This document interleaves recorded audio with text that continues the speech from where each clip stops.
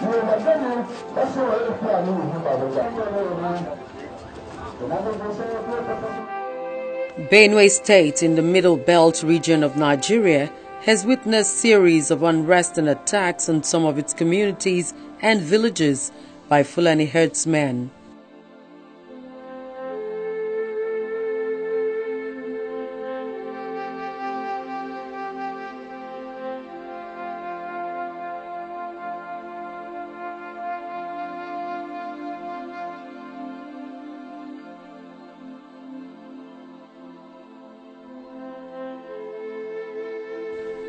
These attacks have claimed hundreds of lives and rendered many homeless after the destruction of their properties.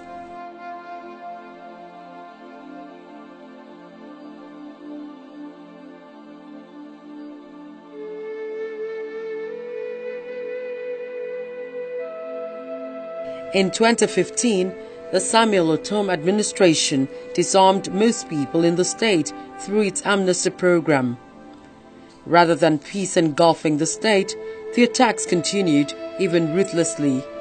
Many things have been happening because of the threatening of Fulani herdsmen, and not many of them cannot be able to come back home. And the right as I'm speaking with you, some of them are still at the highland shooting at our people because some of our men are fishermen too and they can be able to be going to the sea and looking for fish. Thank you all. And the Fulani herdsmen did not allow them. Agatu, Buruku, Ohimini, Logo, Guma, and seven other local government areas in Benue State have all had their fair share of herdsmen encroachment on farmlands. As always the case, women, especially pregnant ones and children, are the worst hit in the violence.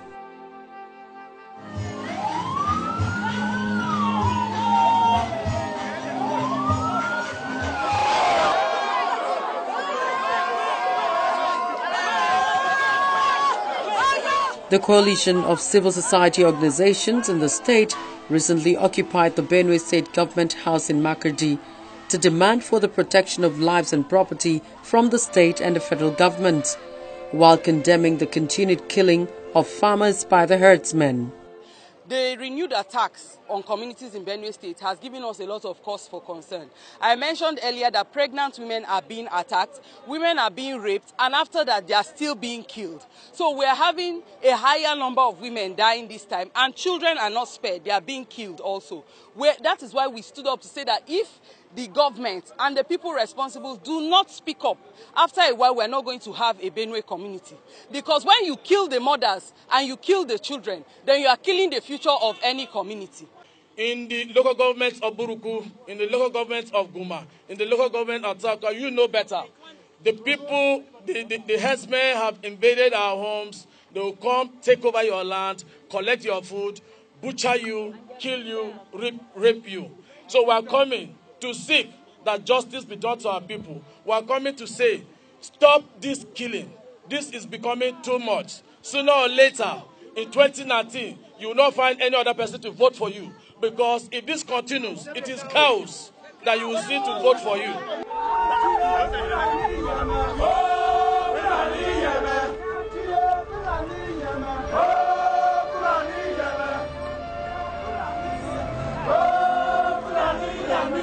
Outside the state and in the Federal Capital Territory, some Benue indigents, pinched and worried about the plight of their kinsmen, staged a protest at the National Assembly, demanding an end to the attacks which may have affected the food supplies of the once food basket of Nigeria, as farmlands and products are the mercy of herdsmen.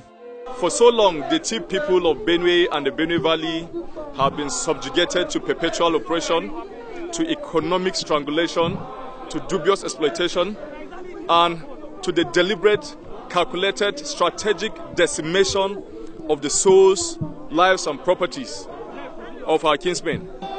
We feel that it is time to speak very loud and clear and draw the attention of the government and the international community to the deliberate act of pogrom that is going on in Benue State. This year, they came to my father's house. They killed my relative and they killed everybody. That is why I'm in pain.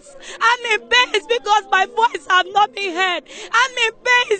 I'm in pain. And if the federal government cannot do something about it, let them tell us so that we know that there's nobody to fight for us. For you to go to the farm, you cannot go for the farm. Even if you go to the farm, you, you hang yourself on, on top of the tree. The judiciary the security forces. The Benue stakeholders meeting is convened by Governor Samuel Ortom, including security chiefs. Individually.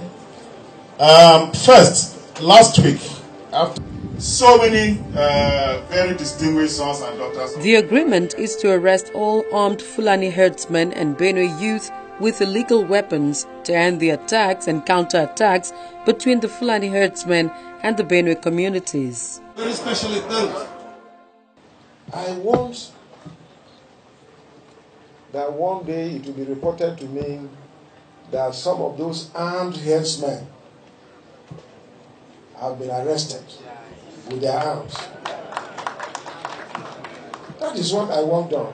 If we do that, the entire state will hail you and appreciate you. Let them be arrested.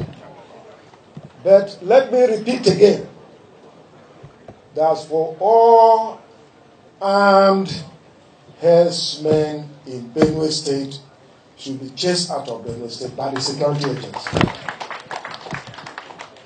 Like the senator said, we're in federation, this is Nigeria, it belongs to all of us. We're not sending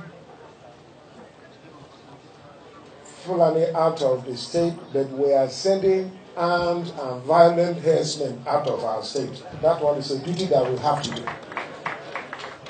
But those who are law abiding, I can assure them that I will give them protection. We cannot tolerate criminals, but the most important thing is the fact that there must be a distinction between those who are killers and those who are rear cattle rearers. We are not launching war against the Fulanis. What we are talking about is the menace of Fulanis who carry guns. And we believe these are not true Fulanis. A Fulani man who carries a gun and goes about killing his own rampage is a fake Fulani.